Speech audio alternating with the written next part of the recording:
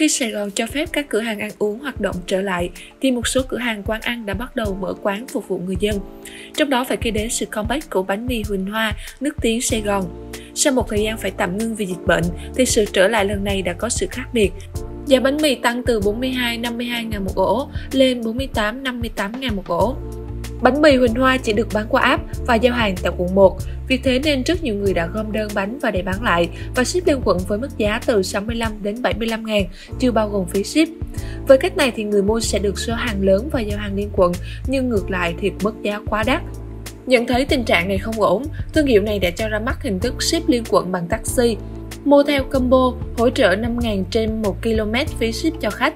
Ngoài ra, khách hàng cũng có thể mua theo combo giá từ 110.000 đồng đến 770.000 đồng, tính ra khoảng 55.000 trên một ổ và khá vừa túi tiền.